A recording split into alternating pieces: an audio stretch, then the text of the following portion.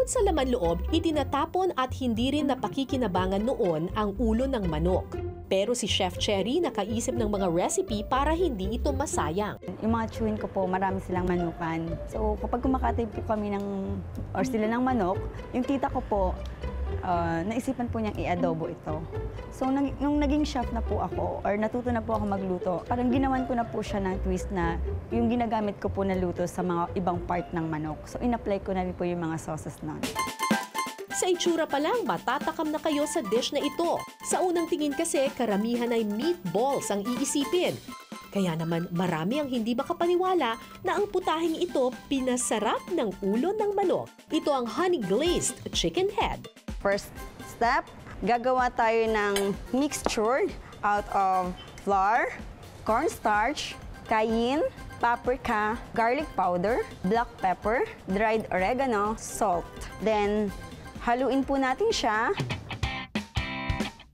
Iko-coat po natin ang ating chicken head. Tapos, lalagyan po natin siya ng egg. After i-coat sa special breading, pwede na itong i-deep fry hanggang maging golden brown. I-glaze na lang po natin siya ng honey.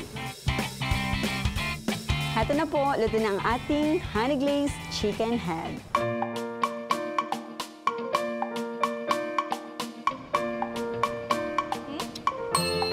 Matamis siya. Hindi katulad ng ibang chicken na pipirito mo lang, gano'n. Masarap. Ang next dish ni Chef Cherry may orange flavor twist. Uh, magmamarinate tayo ng chicken head, um, orange juice, egg white.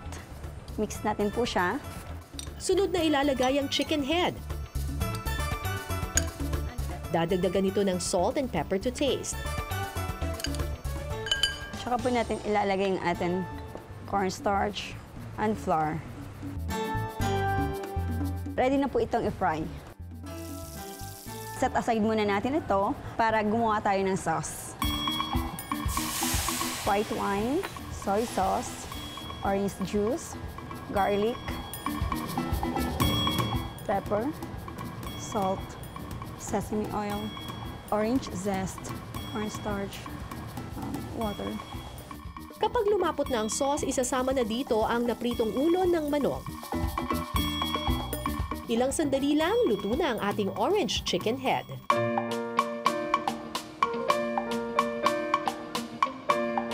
Lasang-lasa po yung orange, tapos naga, nag-aagaw po yung tamis at asim po ng orange. May sipa naman ng anghang ang ating last chicken head dish. Titimplahan ng ulo ng manok ng asin, paminta at paprika. Ipiprito hanggang maging golden brown, isiset aside muna ito pagkaluto. Sa isang pan naman, iluluto ang sweet and spicy sauce nito. garlic, sweet chili, hot sauce, sugar, salt, pepper, cornstarch, sili, red and green bell pepper. At ibabalik na po natin ang chicken head. Papalampasin nyo ba ang sarap ng kombinasyong tamis anghang? Tikman na ang sweet and spicy chicken head. Matamis po siya. Medyo manghang-manghang. Masarap siya pampulutan. Ang mga paa naman ng manok na hindi napapansin noon kadalasang inaadobo o sinasahog sa sopas ngayon. Pero may iba pa palang pwedeng luto dito. Sa Chinese restaurant na ito sa Malate, Maynila, spicy ang kanilang chicken feet specialty. Hello, good evening everyone. Today I'm just going to show you how to cook uh, Chinese food, spicy chicken feet.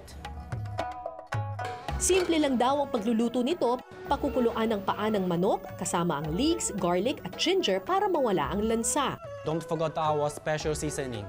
Add hot water. Make sure the water will cover all the chicken feet. Okay, now the chicken feet already cooked for one hour. You can see the soup become a little white. First, we're going to put uh, the red bean sauce, chopped bawang, chopped spring onion, the sugar, chili oil, and the spring onion oil. Papasa naman kaya sa panlasang Pinoy ang spicy chicken feet? Medyo maalat na maanghang. Para siyang adobo chicken pit na Chinese version. Medyo maalat ng konti na matamis-tamis.